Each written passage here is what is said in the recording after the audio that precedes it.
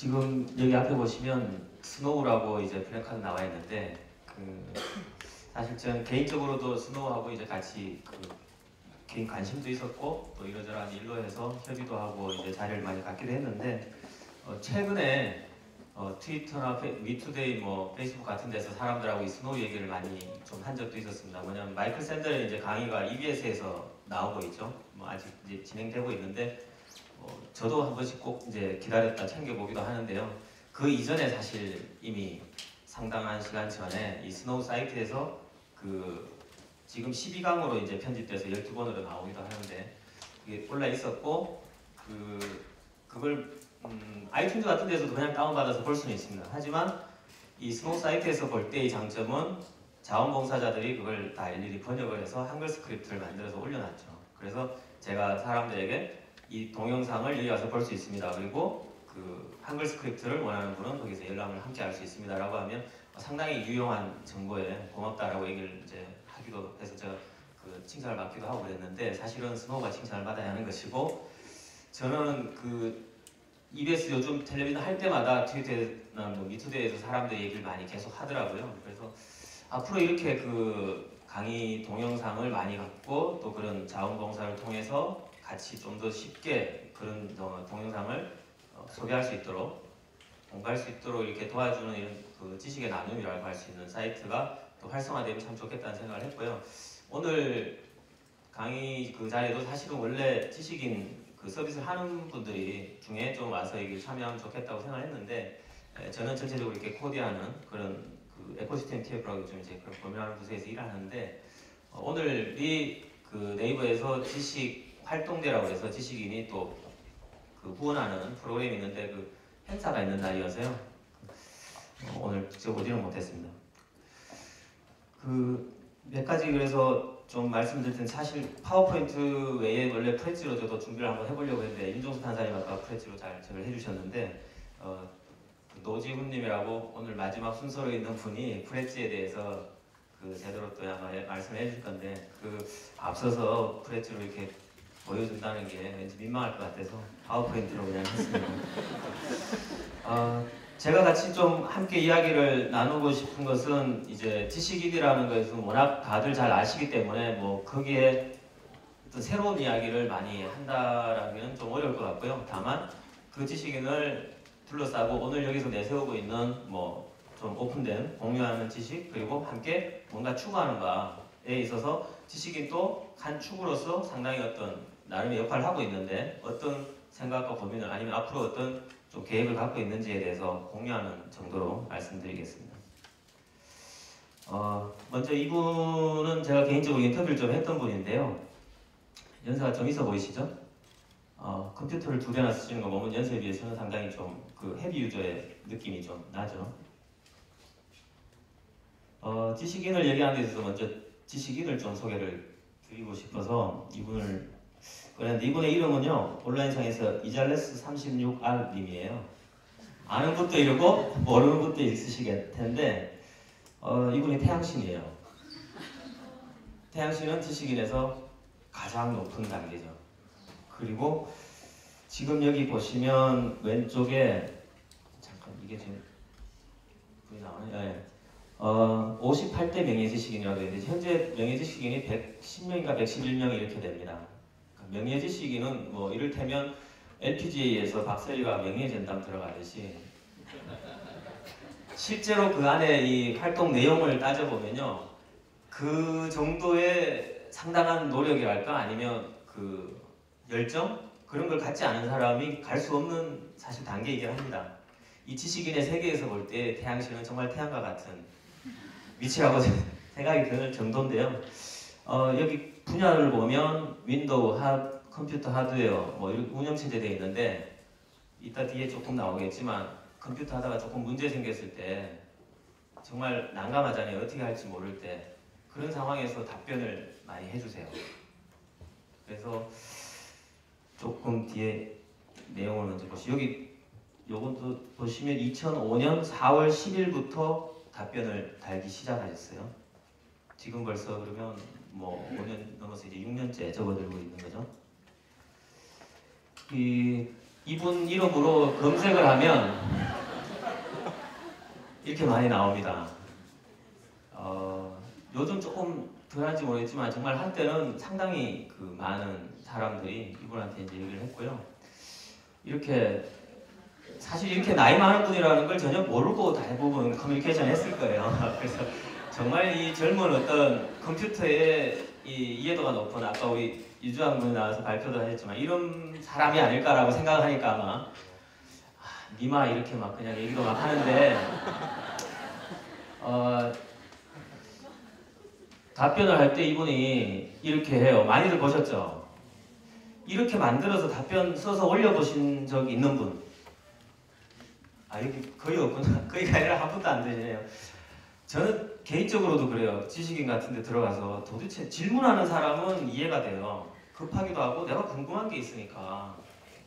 근데 답변하는 사람은 솔직히 개인적으로 처음에는 이해를 잘 못했었어요. 이분하고 인터뷰하기 전에도 태영신인 사람은 도대체 무슨 일을 하고 어떻게 살길래 앞에 보셨지만 답변 개수가요 몇 천 건 단위가 아니에요 만 건을 넘어가거든요 이 답변 하나 쓰는데 이렇게 쓰려면 시간 얼마 걸릴 것 같으세요? 이거 블로그 포스팅 하나 하는 거랑 거의 동일한 정도의 부담이거든요 야, 그래서 이분이 그런 이야기 하세요 시간이 모자란다 보통 같으면 사람들이 아, 답변 달기 귀찮다라는 생각으로 넘어가지 않을까요? 내가 시간이 바쁘고 힘들면. 근데 이분은 오히려 열정이 강해서 시간이 좀 늘었으면 좋겠다고 얘기를 하세요. 하나 작성하는데 두세 시간 걸린다는 거죠. 이분이 운영하는 블로그입니다. 복장이 좀 특이하죠? 이분의 직업은 고속버스 운전기사예요. 서울에서 포항을 오가면서 운전을 하시고요. 댁이 포항에 있으세요.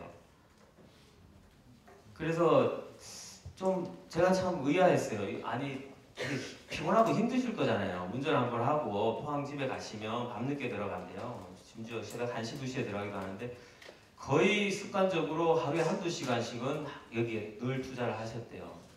그래서 그 여기 또 다음에 이어지는 질문. 아니 도대체 지식인의 답변을 하기 시작한 건 왜 그렇게 하셨어요? 어, 뭔가 그 처음에 시작하게 된 계기가 되게 이해가 좀 음, 궁금해서 여쭤봤는데 이분이 개인적으로 컴퓨터 이런 걸 전공한 분도 아니고요. 잘 몰랐대요. 근데 어느 날 90 한 5, 6년 넘어갈 때 이제 MS 도스라고 이제 도스 시절에 이 컴퓨터가 돌아갈 시절에 그 컴퓨터를 우연히 이제 접하게 됐대요. 알게 됐었는데 그러다가 90년대 후반에 이제 접어드는데 갑자기 이게 그래픽 기반으로 넘어갔잖아요. 그래서 마우스 들고 이렇게 하잖아요. 그 전에 이제 명령어 기반으로 할 때는 관심이 그렇게 많이 높지는 않았고 야, 좀 재밌겠다, 독특하다 이렇게 정도에서 이 그래픽 기반으로 넘어갔는데 상당히 크게 충격을 받으셨대요. 그래서 취미 삼아 관심 있으니까 이제 좀 책도 자, 가, 가져보고 이렇게 학원도 가보고 뭐 이렇게 공부를 독학으로 하셨대요. 오늘 아까 유주한 이야기 들으면서 저도 이분이 더 떠오르기도 했는데 공부를 그렇게 독학으로 막 하다 보니까 되게 재밌어서 이제 남는 여유 시간과 어떤 열정 이런 것들 이쪽에 많이 쏟기 시작했는데 어느 날 이제 인터넷이 많이 이제 보편화되면서 사람들이 쓰다가 누군가 게시판을 어딘가를 지나가는데 게시판에 아 이거 어떡하죠 뭐 갑자기 윈도우가 파란색만 뜨고 컴퓨터가 먹통이 됐어요 뭐라든지 뭐 이런저런 글을 이제 사람들이 올리는 걸 본 거예요 그러다가 뭐 그런가 보다 하다가 너무 간단한데 이거 이렇게만 조치를 하면 되는데 라는 걸 이제 아니까 답변을 써줬대요. 그랬더니 정말 그 고맙다는 이야기를 이제 다시 써줬는데 고맙다는 게 절절하게 이제 정말 감사합니다. 덕분에 참 제가 완전히 이거 다 해결이 잘 됐다고. 근데 그 글을 읽으면서 기분이 좀 이렇게 뿌듯한 그 기분 자체가 막 뭐랄까 이렇게 그 끌어올라오더래요. 그래서 느낌이 다 남다른 어떤 특이한 경험을 내가 그때 했다. 그래서 아 이거구나. 어, 뭔가 새로운 걸 내가 발견했다라는 그런 느낌을 받고 그때부터 찾아다녔대요. 이 질문을 누가 어떻게 좀 한 게 없나.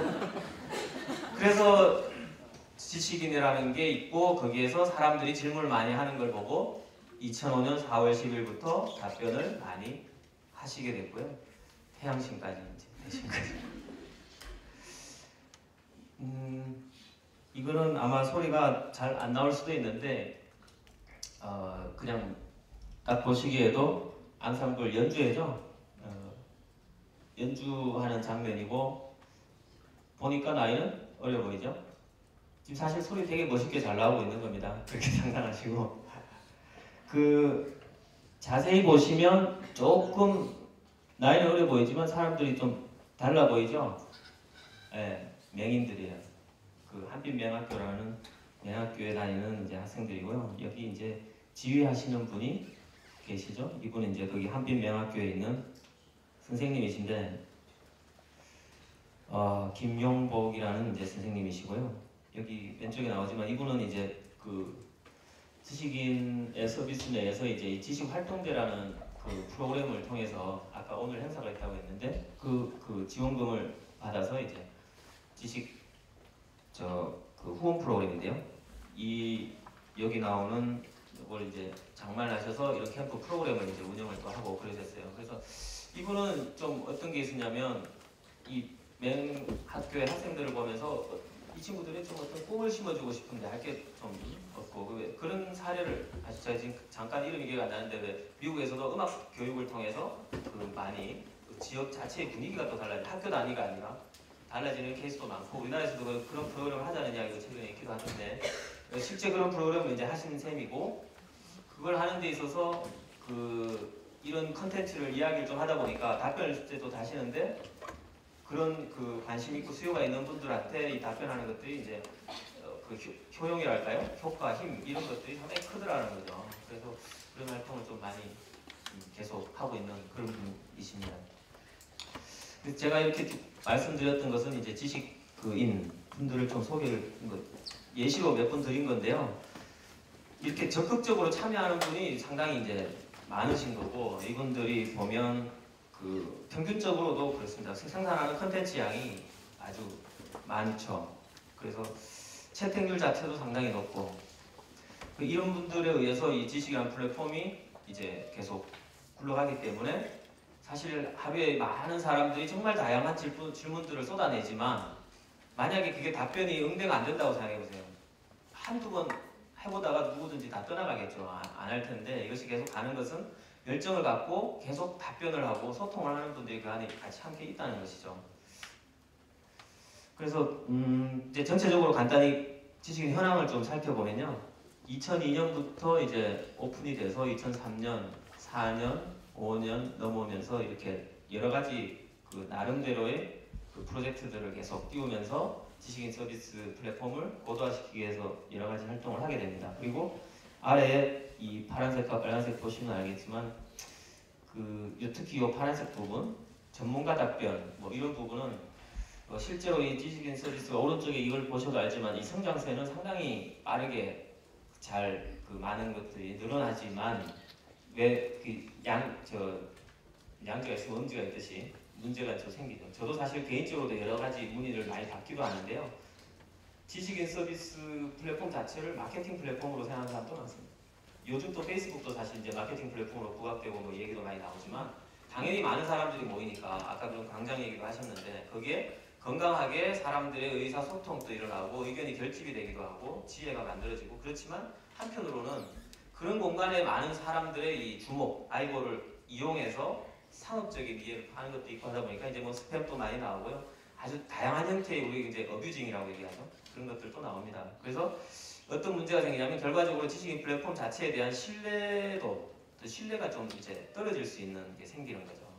만약에 질문을 하고 들어갔는데 아니면 내가 검색을 해서 들어갔는데 그 질문에 답변을 받더니 아예 없는 것도 문제지만 있는데 그게 만약에 전혀 효용성이 없는 아니면 상업적인 컨텐츠가 쌓여있다라고 생각해 보세요. 그건 없는 것보다 더 못한 거죠. 그래서 그런 부분에 있어서 여러 가지 활동을 이제 많이 하고 있는데 그 중에 하나가 특히 대표적으로 좀 문제가 많이 되는 답변 카테고리의 하나가 그 의학 정보 관련된 겁니다. 민속요법으로 막 얘기를 해요. 애가 밤에 열이 나서 이렇게 얼굴 빨개지고 힘든데 급해서 질문을 했는데 아 그럴 때는요 뭐 그냥 얼음 갖고 와서 뭐 이렇게 하면 됩니다라든지 많이 뭘 먹여보세요. 어, 상당히 위험하거든요. 그러니까 그런 부분에서 그 실제 그 관련된 질의응답에 있어서 신뢰가 되게 중요한 부분에 있어서는 전문가들이 함께 동참하는 것이 이 플랫폼에서 대단히 중요하겠다라는 것이 이제 전문가 답변. 그래서 그 의학 정보에서 이제 의사 분들이 함께 참여하는 것 그리고 변호사분들 이제 법률 정보 같은 거 그런 것도 하고 이제 노무사분들도 하고 그러는데요. 그 외에 지식 파트너는 어, 그런 경우가 많습니다. 이제 요즘 기업체들도 참여를 합니다. 뭐 이를테면 주유소 GS 칼텍스도 하고 그러기도 하는데 뭐 항공사가 할 수도 있고요. 내가 궁금한 것이 상업적인 컨텐츠일 수도 있거든요, 사실. 근데 그게 답변을 다른 사람들 우리가 이제 선의의 그 사람들이 다른 답변자가 아, 좋은 이런 프로그램이 있어요. 아니면 이런 요즘 걔들이 어, 마케팅 뭐 세일즈를 하던데요. 그 이런 그 이벤트에 한번 도, 도전해 보면 좋을 건데요. 라는 거를 알려주고 싶어도 사실 그 컨텐츠를 다른 그 질문자가 아닌 사람이 볼 때는 이건 뭐 질문과 답변을 가장한 아주 고도의 상업적인 행위로밖에 안 보일 수 있잖아요. 그럴 때는 아예 신뢰할 만한 그 counterpart가 직접 얘기하면 되죠. 자기를 밝히고 그죠? 그 회사가 그런 식으로 지식 파트너 프로그램을 또 요즘 하기도 합니다. 그래서 대략 현황은 그렇게 흘러가고 있고요. 지금 이 질의응답의 DB 개수가 현재는 한 1억 7천만 건 정도가 되고 음, 이력은 이렇습니다. 그리고 현재 어, 1 PB가 이렇고 UV가 이제 하면 뭐 200만 이렇게 된다는 것이고요. 여기서 잠깐 근데 이제 이야기를 하다 보면 우리가 늘 혼동이 좀 되는 경우가 있는 것 같습니다. 저도 뭐 사실 이 구분에 대해서 혼동을 많이 했던 것 같은데 정보, 지식 이런 것들에 대해서 어, 우리가 그냥 그때그때 이제 편의적으로 쓰는 것 같은데요. 어, 사건 현상 사물에 대해서 우리가 이제 관찰하고 기록했을 때 처음에 일단 그걸 기술하면 자료가 되는 것이고 그걸 처리하면서 좀 가공을 하면 가치를 자기가 관점이랄까 가치가 부여될 때 정보가 되고 그것을 체계적으로 다시 조직화하면 지식이 된다는 거죠. 그리고 이것이 나에게 체화됐을 때 체득한 그런 것은 지혜로 이제 우리가 얘기를 할 수 있겠다라는 거죠. 그러면 지식인은 어, 서비스라는 것은 이 플랫폼에서는 과연 우리가 앞에 이 지식이라는 단어를 달고 있지만 사실 이것 때문에 거꾸로 이렇게 역효과랄까요? 뭐 소위 욕먹는 경우도 생기죠. 지식인이라고 하는데 막상 가보면 뭐 그게 그렇게 지식이 진짜 많아? 뭐 약간 이런 반론도 있습니다. 특히 위키피디아를 대비해서 그런 이야기도 많이 하죠.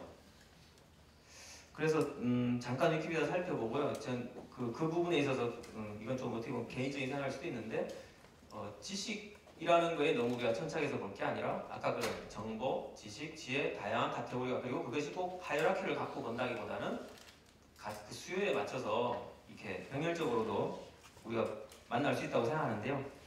약간 지금 위키피디아 자체는 글로벌하게 볼 때 계속 그 완만하지만 꾸준하게 성장세를 가지고 있는 것 같습니다. 그래서 최근에 만 10년이 됐잖아요. 1월 15일 날 맞아서 이제 2001년 1월에 처음 런칭을 했죠. 그리고 한국어판이 지금 한 21위 수준인데 여기 보시면 이 세 개 정도의 영문판, 뭐 프랑스판, 독일어판이 이제 DB가 어 100만 개 이상이 됩니다. 그리고 전체 지금 있는 게 이제 한 1,700만 건 정도 DB를 가지고 있고요. 근데 이제 상대적으로 한국어판은 좀 활성화 많이 음, 덜 되는 편이다라고 얘기를 할 수 있겠죠. 15만 건 정도인데요. 어, 그래서 비전으로 보면 총체적인 지식의 보고 누구나 편집할 수 있다 이런 것들을 특징으로 해서 지금 가고 있고 사이트의 그 UV 기준으로 보면 컴스코어 데이터 통해서 봤을 때 세계 5위에서 조금 그 밀릴 때는 7위 그러니까 상당히 그, 어, 압도적으로 높은 UV를 자랑을 하죠. 그리고 여기는 그 운영 방식에 있어서는 기부금 방식을 계속 유지를 하고 있고요. 그리고 최근 인터뷰에서 보면 이제 글로벌하게 계속 더 사람들한테 확장하는 부분, 더 많은 언어, 그리고 더 품질을 높이겠다, 고도화 이런 부분이 있고 다만 지식인 내에서도 그런 고민은 있다고 그래요. 이게 어느 정도 표준어 방식인데 많이 컨텐츠가 쌓이다 보니까 새로운 표제가 늘어난다는 것보다는 그 안에서의 이제 그 뭐랄까요 좀 정체성 이런 느낌이 이제 좀 생긴다는 거죠. 어, 실제로 2년 전인가요? 어, 지미 웨일스가 한국에 왔을 때 그런 이야기를 했었죠. 그래서 이 위키피디아 전체의 비전에 있어서 어, 위키 더하기 university 개념으로 해서 실제 지금 사이트가 벌써 위키버시티라고 만들어져 있기도 하죠. 위키미디어 재단에서 운영하는데 가- 강의 교육과 연동해서 이제 비전을 좀 바꿔가고 있는 그런 상황이기도 하죠. 그래서 이걸 비교해서 좀 보면 음, 이전에 백과사전과 위키피디아를 원래 비교해서 얘기가 많이 나왔었습니다.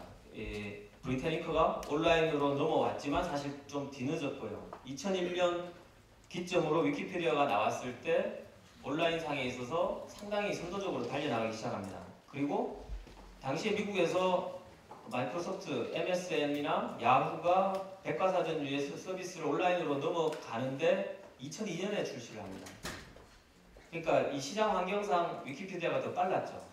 그래서 어, 위키피디아가 더 뭐랄까 사람들한테 주목받고 활성화되는 데 많이 도움되는 환경이었던 것도 예, 있다고 좀 합니다. 그리고 내용상으로 봤을 때 작동 단위라고 지금 표현을 했는데 음, 이건 저희가 사실 그 네이버하고 서울대 같이 공동 수업을 한 두 학기를 한 적이 있는데요. 그러니까 정보 다루기라니까 뭐 뉴미디어에 대한 이해 이렇게 해서 포털의 이해라고 해서 했었는데 그때 당시에 강의 개발을 하면서 이제 이걸 정리했던 자료인데 백과사전은 어떤 그 표제어 방식, 그 개념을 갖고 접근을 하지만 지금 지식인 서비스는 그 개념 외에도 절차라든지 아니면 아까 얘기했던 경험 뭐 이런 것은 오히려 지혜와의 연관성이 더 높다고 볼 수 있겠죠. 그런 부분에 이 차이점이 좀 있는 것 같고요. 작성 주체에 있어서는 이쪽 그 백과사전하고 대별해서 이제 비슷한 개념인데 다만 표제 방식이기 때문에 여기는 그 필터링이 상당히 또 중요한 방식이 있는 것 같고요. 신뢰성을 부여하는 것은 여러 사람이다 이렇게 돼 있는데 표제 방식의 경우 당연히 정답이 하나죠. 그 키워드로 컨텐츠를 뚫고 들어가니까요. 다만 음, 여기서 조금 또 어, 양면이 있을 텐데요. 지식인의 활성화되는 데 있어서의 또 긍정적인 포인트였던 커뮤니티적인 성격이 또 있었죠. 어, 실제로 뭐 그 약간 댓글 게시판에서도 그런 일이 있고 했는데 몇 가지 좀 그런 사례가 있습니다. 뭐 족발남 사건이라는 것도 있었고 예전에 모르시나요? 왜 연말에 뭐 그 글을 온라인에서 썼는데 자기가 족발을 시키고 싶은데 병원에 가서 뭐 이렇게 치료를 받고 와서 지금 할 수가 없었고 그 인터넷만 되고 전화도 안 되는 상황이어가지고 근데 실제로 그게 족발이 다른 사람이 도와줘서 뭐 배달이 오기도 했었죠. 그리고 지식인 내에서는 내가 TV를 보다가 어떤 좋은 음악이 있는데 내가 저 계속 좀 듣고 싶은데 그 음악이 뭔지 제목과 이걸 몰라서 뭐 딴따단 이것만 써서 그냥 그죠 올렸는데 어 그걸 답변을 했죠. 그래서 그 가사까지 해서 답변을 올라오게 됐는데 그러니까 그런 부분이 약간 어떤 커뮤니티적인 일종의 놀이문화적인 성격도 사실 가미되어 있는 것도 같아요. 그 정보랄까 뭐 지식을 매개로 하기도 하지만 약간 그런 차이점이 분명히 좀 존재를 하는 것 같습니다. 그래서 이걸 동일하게 어, 지식을 놓고 봤을 때 왜 여기는 뭐 좀더 정제된 컨텐츠가 많은데 여기는 좀 정제되지 못했다라는 것을 일- 하나의 동일한 잣대로 놓고 보기보다는 좀 이런 특징과 차이점이 좀 있다라는 것을 보는 게 좋지 않을까 생각이 들고요. 이거는 이제 그 네이버라는 곳에서 이 지식인이라는 서비스 외에도 사실 여러 가지 형태로 고민을 하는데 어, 조금 더 이렇게 그 전문 정보라고 해서 우리가 말할 때이 지식 특히 여기가 이제 학술 검색 API 최근에 오픈하게 되는데 한네개 대학은 이제 오픈을 벌써 하고 했는데 그런 그 좀 정제된 전문화된 컨텐츠를 사실 사람들과 이렇게 연결하는 것 이것이 좀 한 카테고리라고 하면 어 오픈캐스트나 지식인 이런 쪽으로 가면 이제 좀 더 사람들이 이제 많이 참여형으로 그런 정보를 연결하는 그런 방식이 되겠죠. 그런 것이 이제 포털에서 좀 진행하는 여러 가지가 있고요. 어, 여기 있는 것들은 뭐 최근에 디자인 스튜디오도 출시하기도 했는데 그 여러 가지 기술적으로 이제 오픈 소스나 아니면 또 오픈 API 이런 형태로 좀 기술 자산들을 또 공개하면서 음, 진행하는 부분도 있고요. 직접 컨텐츠를 좀 이렇게 모아서 보여주는 부분도 있습니다. 네이버 캐스트 같은 것도 있고 네이버 랩도 있고 또 여기 나오는 놀이라고 하는 거는 어, 그 나름대로 이제 뉴미디어 환경에 조금 더 특화해서 여러 가지 컨텐츠들을 사람들과 함께 그러니까 이 시- 인터넷 기반으로의 변화에 있어서 어떤 맥락 같은 걸 좀 공유하기 위해서 여러 가지 프로젝트를 저희가 좀 진행을 하기도 하는 그런 게 있기도 합니다. 그래서 이 가운데에서 이 빨간색을 두른 이유는 여러 가지 어떤 아까 말씀드린 정보와 지식 뭐 이런 것들을 또 서비스 형태로 또 다양한 접근을 통해서 방식을 통해서 할 수 있을 텐데 현재 포털로서 이제 그 네이버에서는 요- 어떤 여러 가지 고민을 하는 데 있어서 지식인이 상당히 그 중심적인 플랫폼으로서 가는 것 같고요. 한 가지 그 개인적으로 덧붙이고 싶은 뭐 이야기 거리라고 할까요? 뭐 그런 거는 한때 어떤 세미나 자리에서 얘기가 좀 나왔던 건데 이 포털이 요즘 같으면 온라인 시대에 있어서의 어떤 public street으로 좀 기능을 해야 되는 거 아니냐라는 말씀을 누가 주셨어요. 그게 여기 나오지만 뭐 아까 아고라 통해서 얘기를 잘 해주셨는데 그 광장이라는 것이 온라인에서 상당히 큰 새로운 가치를 우리가 만들어내는 걸 목도하고 우리가 경험하고 보고 있잖아요. 그런 측면에서 어떤 광장의 역할을 하기도 하고 때로는 명동 거리를 지나면서 요즘 패션 트렌드가 어떤지 아니면 사람들 옷 입고 다니는 그 어떤 뭐 맥락이랄까요? 뭐 그런 걸 우리가 저절로 많은 걸 익히게 되는 게 생기잖아요. 그런 어떤 맥락적인 정보들을 얻을 수 있는 곳으로서 포털이 좀 더 잘해야 된다라는 어떤 이 그 주문으로 그런 이야기 주시, 주시기로 했는데 요즘 SNS 시대로 가면서 보면 다시 이 연결의 방식들이 그 사람들을 중심으로 이제 그런 것들을 또 만들어가는 것 같아요. 그래서 단순히 이게 이제 뭐 뭐랄까 하나의 허브로서 포털이 거기서 주도해서 모든 걸 다 한다 이런 거는 절대 아닐 것 같고요. 여러 가지가 어우러지는데 그게 보완적으로 좀 다 돼야 될 것 같다라는 게 하나의 생각이고요.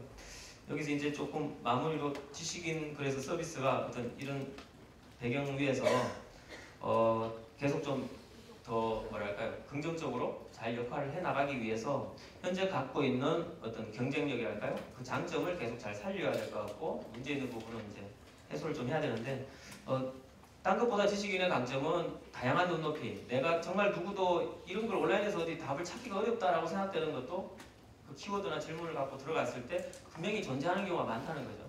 나하고 비슷한 눈높이에 생각을 하는 사람들이 누군가는 있으니까 그래서 그런 어떤 롱테일적인 부분에서의 강점 이것은 계속 좀 강화돼야 되지 않을까라는 게 있고요. 즉시성은 이게 좀 보완이 많이 필요한 부분 같아요. 그때그때 이제 정보의 니즈가 우리가 늘 궁금한 거를 저녁까지 기다렸다가 밤에 집에 와서 인터넷으로 하는 것보다는 그때 그때 해야 되니까. 그래서 즉시성이 좀 더 이제 강화는 필요한데 어, 더불어서 집단지성 많은 사람들이 함께 참여함으로써 이 양쪽이 다 커버는 가능은 할 것 같지만요 아까 나온 또 스팸 이런 문제가 있으니까 신뢰 기반 강화하는 거는 계속 가는 거고 여기서 이제 이 모바일 기반의 강화가 또 이런 측면에서 아까 중요한 것 같습니다 많은 사람이 참여를 할지 즉시성을 보강하는 데 있어서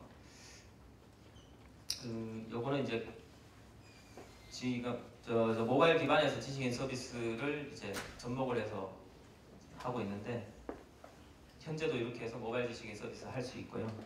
어, 미투데이 같은 데에서도 지식인 서비스를 접목해서 이제 또 Q&A를 받기도 하고 있죠. 이런 형태로 이제 계속적으로 좀 그 뭐랄까요 신뢰도를 높이고 그런 노력을 해가는 것도 필요한 것 같습니다. 자, 오늘 이야기는 이 정도로 마무리하겠습니다. 감사합니다. 네, 좋은 강연 해주신 김태형님과 김경래